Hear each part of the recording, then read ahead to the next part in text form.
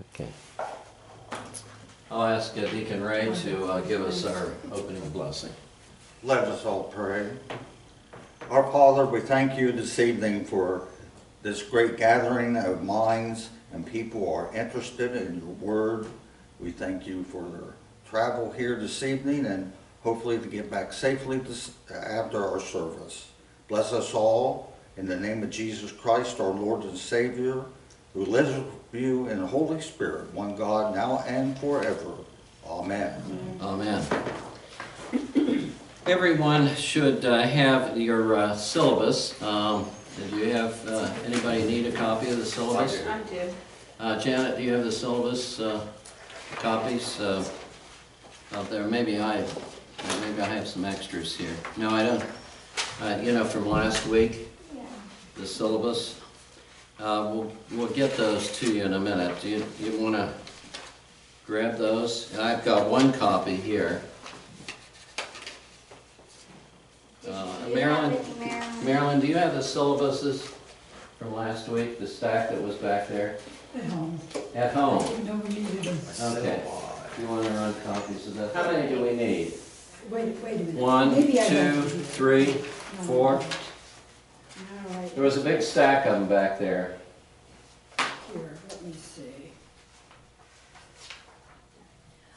No, these are- Okay, why don't you run over and uh, make a uh, I'm copy? sorry, these are from last time. Okay. Let's see, three. We'll get that to you in a minute, and uh, that's not a problem because I want to just uh, talk about something else while we're doing it. Um, Just a couple of um, uh, notes. Uh, We've kind of finalized the schedule for spring uh, for Academies uh, 2 and 3. This is Academy 1 during the 1920 academic year. And so the next academy will be in March uh, every Tuesday in March, and that, that is before the Easter cycle, so we're in good shape there. So that'll be the Tuesdays, and Father Caney is going to lecture during that uh, time, doing a detailed look at the Old Testament.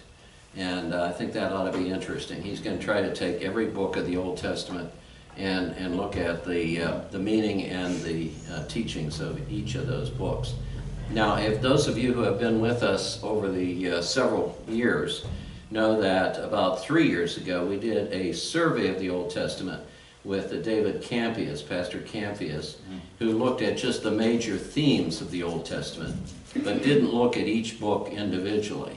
And so uh, Father Caney's going to, Pastor Caney's going to look at each book and give us the sort of summary of each book of the Old Testament. That's particularly important to us as, as Christians because the, uh, everything that we have is based on that foundation of the Old Testament. I mean, we are in many ways Jewish Christians. Uh, the Abrahamic, that's why we have a Bible with both Old and New Testament in it. And it's not just exclusively New Testament. And really, to understand the New Testament really well, uh, is to look at those references because it's always referring back to Old Testament texts and prophecies like Isaiah, Jeremiah, and so on. The whole business of the Messiah and the concept of the Messiah has to be grounded in the Old Testament to really understand how that all uh, you know, came to be in the New Testament. Jesus also, as you know, in the New Testament, uh, they trace the lineage of Jesus back to David and so on. So we, we really do need to understand that, that history and the tradition there to really fully understand our own, our own faith. And as I mentioned before, you know, we're part of the Abrahamic family, the three great religions of Judaism, Christianity, and Islam are all based on a common, common background, common heritage. And uh, so um, to understand the Old Testament uh, is, and of course, as you've heard me say often, uh, Jesus only knew the Old Testament. The New Testament was not written until 30, 40 years after his death, so he didn't know any of the Gospels, any of the epistles, any, anything. So what he knew was the teachings of the Torah. And you remember that one incident in the Bible that's recorded where Jesus is reading from the great scrolls, And people say he read with such authority that it just amazed at, the people how a young person would have that kind of wisdom and insight. Obviously, he's reading from the, the Old Testament texts, or as we know it is the Hebrew Bible. So that'll be the uh, Tuesdays in March uh, with the same kind of format, uh, either one or two lectures, uh, reading week, and two, two lectures. Uh, and then in uh, April, because that's the Holy Week and Easter come into April there, we then generally skip to May, and the weather's nice in May, and we'll have uh, another academy, the Spring Academy, and that will be on, on worship. And so part of the part of the course is going to be taught by myself and, and also Deacon Ray, who's a musician. And uh, so I think he's going to get to the organ and, um, and teach us some things about hymnody and, and some, some history and so on. We, it's, it, it hasn't been tacked in stone, so it could be something else. You know, he could be teaching us calliope playing. Yes. Uh, But at this juncture, uh, uh, it, it'll be, uh, it'll be a good academy. And then, of course, the last uh, week of the academy in May, we have the famous potluck dinner and graduation that we all look forward to. So if you look at your calendars now as you're planning out 2020, reserve the Tuesdays in March and the Tuesdays in May. And although that seems like a long ways away, it's just a stone's throw. It's just one cold, snowy snowball minute All what? from, from now. So that, that helps uh, put you on track. Um, While the syllabuses are being uh, copied for you, uh, let me just uh, pass out uh, uh, two things. And I think those of you who have read the text uh, know what these uh, stand for. Ray, would you pass those out? Marilyn, would you pass these out?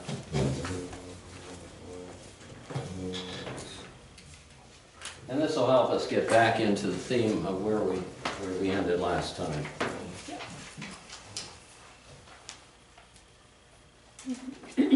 I hope you're enjoying the text. Uh, it's really a good book. It's extraordinarily easy to read, and I've just had rave reviews from you on the book.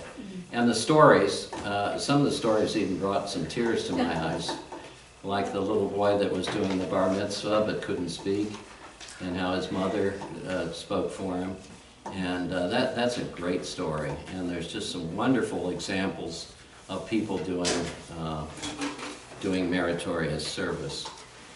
Now, the main thing about the book is that it's a workbook, as I told you, not only to read, but actually to use. And so the to-do list that's in there uh, is always your assignment for this class, because those things help prompt you into thinking about what you might do to accomplish those, uh, those things. Um. Those are different, you know. You should have two slips when you finish up here.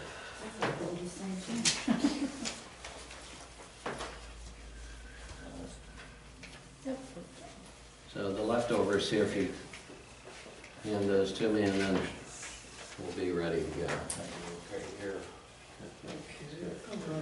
For the next week.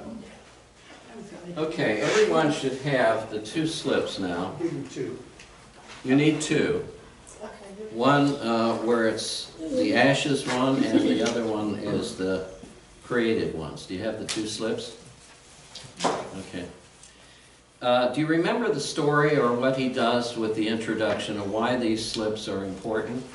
Um, It brings us back to our discussion of last time, and that is to remember the main theme throughout this course, and, and actually as God reveals it in the Bible, is that we are created in the image of God. And that's where we start everything from. And that the wonders of creation of God is twofold. Number one is that He makes all of creation, and then He brings as the last uh, part of creation, the highest point of creation, the development of man and women, humankind. And therefore, the entire creation was meant for men and women to appreciate, to love, and to, to thrive within. And so the creation wasn't just something that God did without any purpose. If you think about it, if, if all, if all that he had made was just made and there were no people there, uh, it would just be a sort of a zoo, and that would be about it, and no real meaning or purpose. So God, from the very first part, uh, presumed to want to have his image, himself reflected in human beings, and then to take advantage of this great creation that he would make, and then allow men, by the, by the gift of free will that we talked about, which is the, one of the greatest gifts that human beings have been given by God, and that is that we share a certain divinity of creative abilities, and by so doing, then, we become co-creators or at least partners with God in the further development of the creation after he had sort of rested. So, if you remember last time, I said in the seven days of creation, and then he takes a rest, but not everything was done. And once human beings were brought on the scene, one of the first tasks is that he gave to Adam, who is the representative of, of human life, uh, he told him, now you name all the animals. Uh, you, now, you know, I've done my work now. Now I'm, I'm sort of passing off some things for you to do, which was very significant.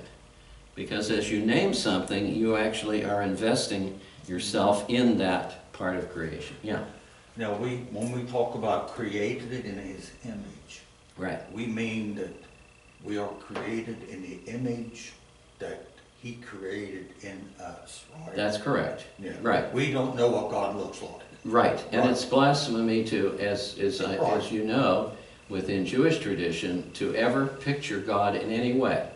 Uh, in fact, the Great Commandment says, "You shall make no images of me of any sort, because everything you make will be incorrect." It isn't like Michelangelo on top of the Sistine ceiling, taking Right. his finger and touching man and creating, putting life in man.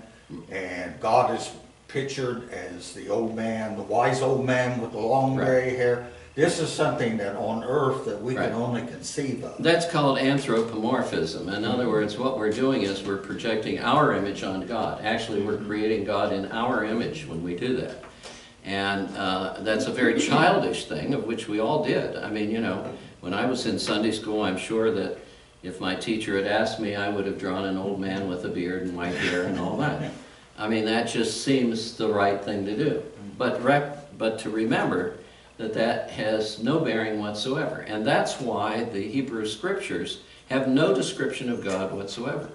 In fact, any time that any human being gets close to being in the presence of God, such as Moses, God shields Moses from seeing him. It puts his hand so that Moses cannot see God as he's passing by. Remember? Or God appears in the burning bush. Well, you don't see an old man in that burning bush, it's just the power of God there. Or he's in the wind and the rain, and he's in the storms, and, and so on. The power of God is both, uh, uh, is a force, it's the creative force of the universe which has no human likeness. So it's a terrible error that people make when they think that God has two eyes, two ears, two hands, two feet, and uh, athlete's foot. You, you know, I mean, uh, it, it's just a total uh, kind of a, what I would say, it's actually close to blasphemy. Uh, because what you're doing is you're projecting your image on God. This is why we can't imagine or approach, approach the physical God. Right. It's kind of like a shield. It's the bark Right. idea of there's a shield between the creator Right. and the creation. We can never approach the creator because Correct. that shield. Correct. Well, i- i- i- under, in a sort of philosophical way, if we were talking about mm-hmm. philosophy, nothing that is created can ever comprehend the creator. In other words, if you fully knew everything about God, every dimension, every aspect, mm-hmm. to be able to picture or to put God into some sort of a mm-hmm. box, then you would be God yourself, because you would be equal to God. So, since we're never equal to God, we will never be able to comprehend the fullness of what God is like. And so, anytime we project our human uh, kind of concepts on God, we get it wrong. But what we can do is we can we can find the the evidences of God in those things which we know are God qualities, such as goodness, mercy, justice, uh, love, compassion. All those things, obviously, are God-like qualities. And how we know that is because we look at the opposite of the godlike qualities. Hatred, warfare, uh, discord, uh, you know, jealousy, anger. And we know that that can't be part of God because it is a, you know, it's atypical of what God would be like. So I see the syllabuses have syllabi have arrived. Uh, So that's where we were last week talking about the, the concept of God. And then we come to, as he does in the book, saying that it's important for you and human beings to have uh, two, two reminders of how we need to relate to a creator. And the first is that we need to put two of these little slips in our pockets. And uh, remember, this is the discussion he has in the book about the mirror. And he said it's a good thing to look in the mirror, and what do you see there? And of course, his original, he starts out by saying, I see somebody that just got out of bed, my hair's all a mess, and I have, uh, you know, swollen eyes and everything. I'm not looking at anything great. Um, but, but then, then he goes on and says, what I want you to understand is that when you see, thanks, thanks, Jerry, that when you see yourself in the mirror, appreciate what you're looking at, not the physical aspects of, you know, uh, getting bald or, you know, getting gray or wrinkles, but to see what God sees. And what you see when you see in a mirror is you see a creation of God. That is, every one of us has been blessed by the touch of the Creator. And so, he says to us, um, now there's two ways you can deal with that. You can, you can uh, take a sort of a negative view sometimes, and you see that uh, there's a lot of things that we do in life that we don't do very well, and that we make errors and omissions, sinfulness. We fall from the image. We don't reflect God fully in life because of our own human frailties, uh, so, you know, jealousies or um, misjudgments, um, one-upmanship, uh, pridefulness, you know, all the seven deadly sins come into play. And when you see that, uh, you tend to pull out of, of, of this image and you, you diminish the potential which God sees in you. So that's, that's something you have to work, worry about. The other thing is to be too prideful. To say, I'm the best, I'm the greatest, no one ever did, I'm the best president that ever came down the pipe. And, uh, or that I'm the, I'm the, you know, the cat's meow, or nobody ever did it or could do it better than I. Or I'm the finest pianist that ever uh, sat behind the keyboard. And, uh, you know, uh, Mr. Steinway should be, should be pleased that I am rendering him a, and the honor of playing one of his instruments. And when you get that too much of that pride that goes before a fall, as they say, you get the pride, then you have the other, the other one in your pocket. So when you get to be too conceited, too self-centered, too much believing that you have all the answers and that you can't be taught anything, and that certainly God is God doesn't have anything to teach you. You're, you're perfected. Then you reach in your pocket, uh, the old rabbi said, and you pull out this one and say, "I am but dust and ashes," and remind yourself of human frailties, and also the fact that we have a limited lifespan and our days are numbered. And lest you get too prideful, get your, get your act together and get a balance in your life. On the other hand, when you get a negative kind of uh, thing going in your life, when people say, oh, you'll never be anything, or, you know, uh, I, I wish I had somebody better than you doing the job, but I guess you could do it. Uh, or you do the job until I find somebody better. Or if you kind of feel put down in life, then you reach under your pocket and you take out the other slip and say, For my sake, the world was created. And know that you are an object of God's affection and His abiding love.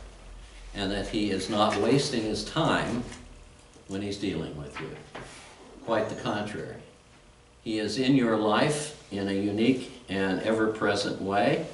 God is never absent. God has claimed you through the, through the covenant of baptism, to, and He has sealed His covenant with you forever. And that means no matter whether you're at the highest mountains or the depths of the sea, like Psalm 139 says, if I go to the highest mountains, God, you're there. Uh, and amazingly, God, if I go to the depths of the ocean, uh, well, you're there too. And where can I flee from your presence, O God, the psalmist says? For there is nowhere in heaven and earth where God will abandon you, his child, for you are declared forever mine. And we said last time, that's the word Emmanuel that we use at Christmas. God with us. And it's a 24 7 situation. Last time I said, you know, there's never a time that you could do something which God says, okay, you, you know, uh, you, you, that's the last straw. Um, see ya. Uh, don't bother calling me because I'm not going to answer your calls anymore. Uh, you know, don't don't don't bother me because you're a hopeless, endless case. Well, that may be what some people say about some people in life, but that's never what God says. Because God always sees in you potential. God always sees what maybe you don't even see in yourself. God sees a redemptive quality within you. Something that says, I will never give up because I know what you can be. I know because I've made you, I've dreamed you, and I've sent you here for a purpose. And therefore, I know that even though you don't realize your potential, I, God, do. And you are never a hopeless case. And that, as I say to my people on Sunday, now that's very good news indeed. It really is, because it says that we're the object of God's affection. We're the apple of his eye. And we therefore have worth. Now, do we live up to the expectations of God all the time? No, we don't. But God also knows that too. That when He gave us human freedom, He also knew that there would be a downside to that. That sometimes we would use bad judgment. And for varieties of reasons, we will make bad choices. And so with that, evil came into the world, or bad things happen often to good people, or bad things happen to people in general. Because you can't control what somebody else bad judgment is. So you're driving down the highway and somebody drinks too much and they use bad judgment, they get behind the wheel and they smash into the side of your car. Did God will that? Absolutely not. But we also said, and this is important always to remember, that God is not a puppet master. He's not, he's not controlling every moment of our lives. If he were, human freedom would be taken away.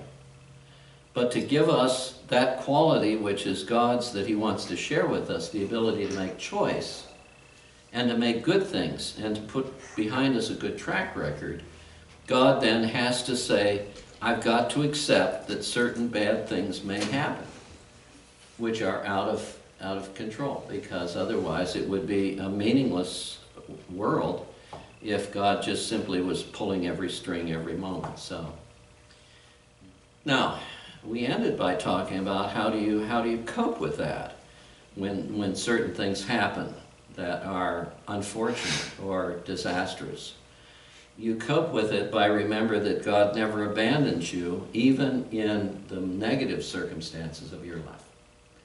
In fact, sometimes it is in the negatives of our lives uh, that we discover God even more real in our lives than ever before. Because I think there's a tendency of human beings to live in such a way as if I can handle it. Uh, God, I don't need you. I, you know, I'm, I'm doing fine on my own until the reality struck, strikes at some point when, uh, you know, you really needed help and you didn't ask. And unfortunately, some people never get religion or never think about God until some disaster strikes. And then they, they, they try every other option. And then at the end, they said, What do I have to lose? I'll try to God. And sadly, that God should have been in the first place, not at the end place. But even then, God still listens and says, Okay, I know, I know. Uh, so let's start and let's pick up the pieces and let's find out how we can work through this. So you always have a coach, you always have a mentor. The question is, do you, do you have that mentor and that coach in your life in such a way is that your entire life is walking in accord with the God who has made you? And that's what salvation, I mean, that's what the sanctification is partially about. Walking righteously with God. How to, how to center one's life in such a way, by the power of the Holy Spirit, that we really find God is so real in our lives that He no longer is a mystery of the universe, but that He is a constant companion and your best friend. Um, and that's what God wants to do. So, God says to you, share with me all the experiences of your life. So, at good times, uh, God is expecting to share in your joy. And He is thrilled uh, when uh, you come to Him and, and share with Him just terrific things that have happened and wonderful, wonderful things that have come your way. Knowing that also God is in your life, changing and working situations to bring that goodness. I mentioned last time and, and often remember what Jesus said I've come that you may have life and that you may have it in abundance. Meaning, He expects you to live and have a good life. And He wants to be there helping you live that good life. So, that's the business of living in the image of God. Not to get too self inflated. If you do, then pull out of your pocket this, I'm, but remember, I'm just dust and ashes. And, but if you ever get down and you, you're, you're hard on yourself or other people are hard on you, uh, pull out the other one that says, remember, for my sake, the world was created. And that, those are really good things to do. So now let's come to number four on our, on our list of the syllabus. We talked about the essentials of living the faith, so I've sort of summarized that for you tonight. Justification and sanctification we're working down through. Now, understanding works. Uh, one of the things that has occurred within the Western tradition, particularly in the Reformed tradition, I mean, in the, in the time of post-Reformation, uh, is this uh, sort of reticence or this sort of um, uh, sense that we're frightened uh, that, that works may become too important in our lives. And, and some people say, all you, need, all you need is faith. Just live by faith and you'll be okay. And I would agree with that. Um, but the question is, what do we do with the faith we have? And the reformers at the time of the Reformation were making a sort of course correction in the church, where during the Middle Ages and previous there had come to be a terrific emphasis on, on meritorious works. And, and that means that um, if, for example, you did something that uh, you shouldn't have done, you yelled at your dog, you, you know, you kicked your dog or whatever, and so uh, then you have a sort of remorse for that. And so you, you kind of want to get that absolved from your conscience. And you, you know that God wouldn't be very happy with that, treating your animal like that. So, so what do I do? And the, the church has sort of come up with sort of uh, formulas, uh, such as saying 10 Hail Marys. Or, um, you know, you cut somebody off in the traffic line, you better say a Hail Mary, you know. Full of grace, the Lord is with thee, blessed art thou amongst women, blessed be the fruit of thy womb, Jesus. So, uh, or, or giving. Giving had gotten to be corrupted too, so that you, you paid to have your sins absolved. You know, like um, you have a toothache and you go into your dentist and, and uh, the, the dentist removes the tooth and you feel a lot better. And at the end, he presents you a bill. You, you pay for the service. And, and there had been sort of a development within church tradition of of paying for uh, the absolution of sins. Um, part of the scandal at Luther's time was the building of St. Peter's in Rome, that great, wonderful cathedral that we're glad is there. But to build that uh, took enormous amount of money and resources. And so uh, we're coming into the Sunday of the Reformation, and it was uh, part of the Lutheran tradition and the Reformers later on that they were um, scandalized by the fact that the, that the Pope and, and the Rome, Roman Church at that time, which was the one church, uh, was, was intimidating uh, their members and people that were basically uneducated uh, in, the, in this time, 1500s. Uh, so much so that, that uh, when, they, when they knew that they had made some mistakes and they went to confession uh, to have their sins absolved, uh, they would have to do penance, uh, which isn't a bad thing. In other words, trying to make amends for the mistakes you've made. But unfortunately, there was also that business that, well, if, you know, uh, if you if you put some money in the pot or the poor box or in the collection plate, uh, we'll just sort of expunge, we'll clean up your act, and, and we'll you know you can you can feel that God's not going to hold that against you because you you know you put uh, five bucks in the in the plate.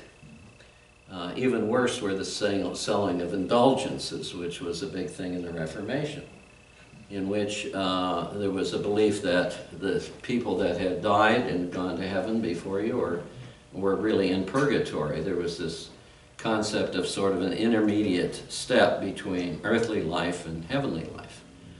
I mean, it made sense in the way it was formulated that nothing impure can be in the presence of God. So if you have an un, if you have unresolved issues in your life, sinfulness, and you die before you can resolve those, those sins on the earthly plane, uh, certainly you can't be received into heaven carrying all that baggage with you. And so therefore, you need to have a time period in which you are washed clean or you're prepared for entrance into the heavenly courts. Because certainly no defiled uh, people can enter. So if you've been, you know, if you, you're carrying all this sinfulness, and as the liturgy said, if you say you're, you know, you're, uh, uh, if you say you have no sins, you deceive yourself, and the truth is not in you.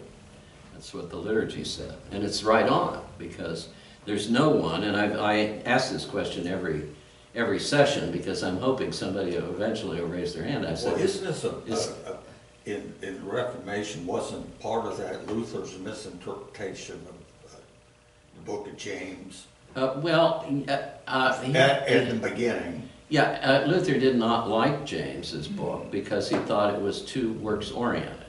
However, that's been pretty much debunked because James was writing, James says faith without works. It's not, he's not making an emphasis that works alone can save you. But he said, show me a person who uh, claims they have faith but they don't have any works. Well, that's, that's ridiculous.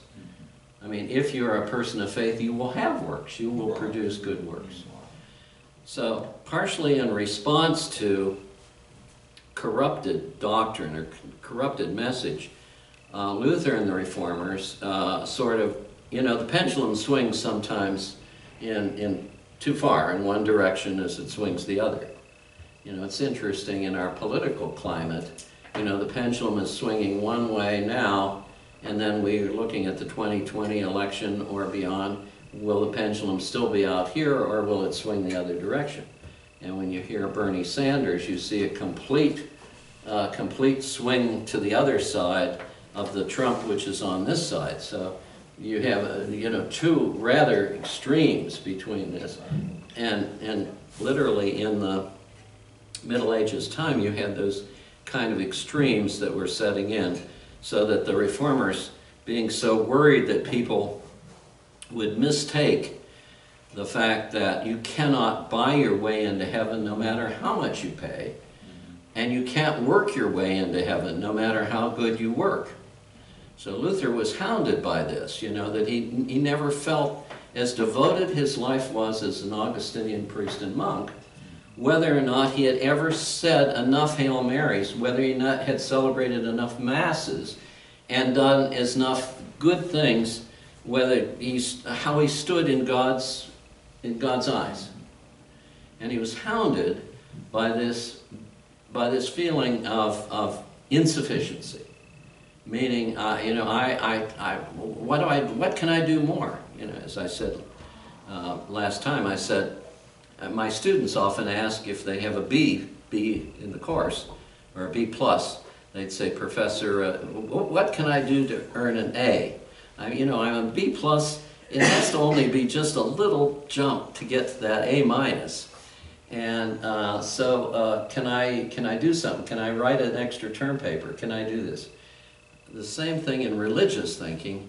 Uh, people were of the concept that if they do just a little bit more, uh, if they work a little harder, they say more prayers, they attend more masses, they do this, they do this, they put more money in the plate. Uh, you know, God probably wasn't very satisfied with five. I'll put ten in this week. But then, you know, I, I don't know whether 10's adequate. Maybe God expected me to put 20 in, so I'll put 20 in this week. Now, I kind of like that thinking. But, you know, but, you know what I'm saying in a humorous way. The, the fact is that in the end, uh, the, as you read the texts and the preachings, the teachings, uh, you can never do enough to earn your way into heaven. But, that doesn't mean you don't do anything. And that's what happened as part of the bad legacy of the Reformation, is that people got into the sort of idea of so much free grace, which there is. I mean, thank goodness there is, that God is graceful. And because of God's free offering of grace, He will accept us even in spite of all our flaws. And that's the atonement, and that's the business of Jesus standing in our stead and justifying us. But then there were some people that says, well, you know, if I'm saved strictly by grace alone, uh, then I guess uh, it doesn't make any difference what I do because, you know, you can make one of those deathbed confessions at the end, and you know everything will be, you know, swept, swept away.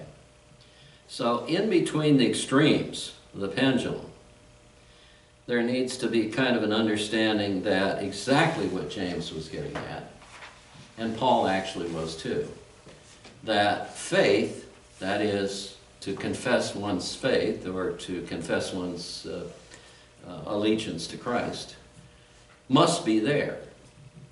But if there's no evidence that Christ has moved within your heart and mind, no evidence that you are different than anybody else, no difference from you that, that hates the Christ or, or works against the church or against everything we preach, if your life is reflecting exactly the same thing from the outside, somebody looking in and say, I can't under, you know, they claim to be a Christian, but they cuss people out in the parking lot.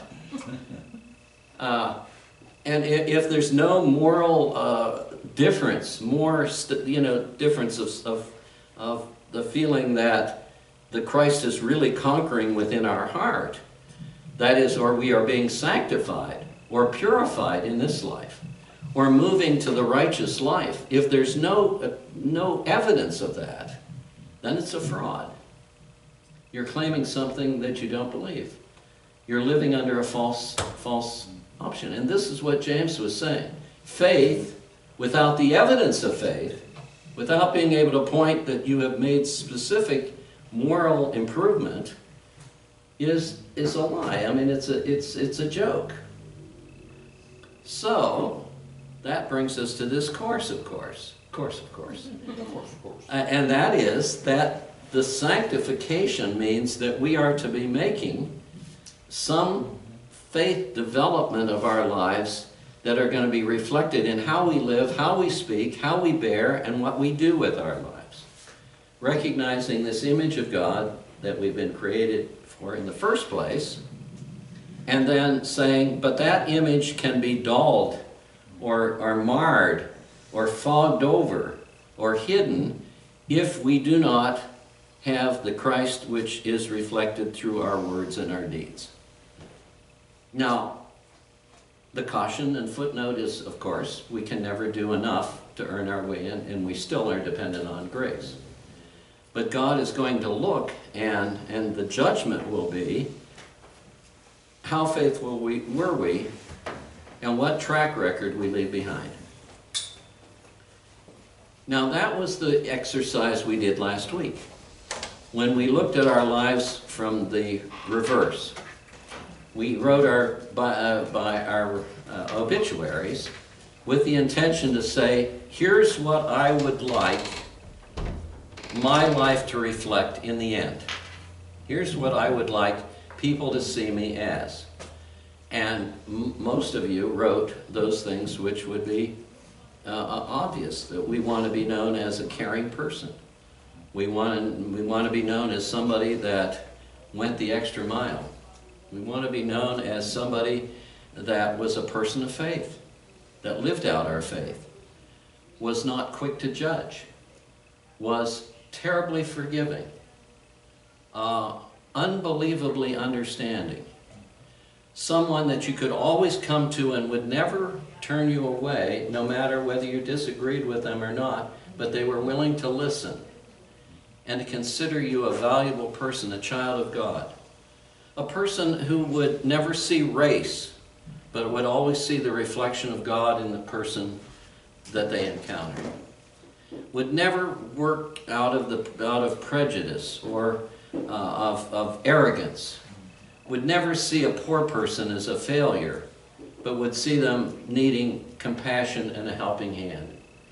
Seeing our success not solely as my doing, but that that I was able to be successful in, in the fact that God, I, I realized what God expected of me. Uh, that I live my life in gratitude. That is, that I don't take anything for granted. And that I consider everything that comes my way a gift of God. And acknowledge God in everything I do in my life the ability, the ability to speak, the ability to lead worship, the ability to give a decent sermon now and then, uh, the ability to lecture, the ability to have dreams and thoughts. Each of you have those within you, and at the end of our lives, this is what we want to be remembered for. And then to remember that worldly things, in the end, have virtually no value. Remember in the book, there was that wonderful thing about the, the Jewish burial shroud that has no pockets. Do you remember that? That was a fabulous illustration, meaning you can't take anything with you. There's nothing. You're just wrapped and dropped in the hole.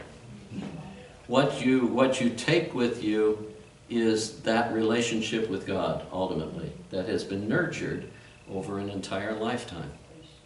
And in the memories of those who remember you as the person which God would wish you to be remembered for. So, so works become the way in which we begin to see that the world has been given to us to be a steward of, and that everybody's life, including the creation, is part of our, the expectation of God in our lives. So what we do, we should do to the finest abilities of our abilities. You don't slop through uh, an organ piece on Sunday morning. God expects better of you. Uh, do we make mistakes? Absolutely. Do we fumble stuff up? Yes. But if the effort and the intention has been to do it the best we can, that's what God expects of us. Everything in life should be done thinking about how it affects somebody else. Now, Mike's working in the, in the supermarket. Your smile to someone there, or when somebody asks you a question, or when you're doing your work, is doing God's work. You are lifting somebody up by the attitude. If you're a, you know, if you're an SOB, when somebody comes and asks you a question, that also is doing the devil's work. What you want to do is you want people to leave thinking, boy, they have the nicest employees in that store. Or, boy, I, I'm glad I went there today because I was feeling kind of crummy when I went in there. But I saw Mike and his infectious smile, and he helped me, and my day has been made better. Now, you don't think that's God's work? Absolutely, it's God's work. So, no one is here by accident. Everyone is here in life as the intention of God. Therefore, that's why God takes a personal interest in you. Just as you take a personal interest in your children. You don't just you don't just have a child and then say, "Okay, you're on your own. Fine. See ya." I mean, you might feel that way sometimes with some kids. But the point is that no matter what they do, where they go, or whatever, they are always in your mind and heart and thoughts. Same with you, with God. No matter where you are, where you go, what you do, you are always in the thoughts of God. And God, like a helping parent, is always there to be a consultant, to be a resource, to be an extra strength, to be a confidant, to be there to help and aid, and to, when you call God into your life, to be a fabulous companion on this journey of life. And this is what the book is about. This is what we're talking about with works, with salvation, with sancti- sanctification. And this is where we are tonight as we take our break for a gift of God which is called popcorn. From the fields of popcorn.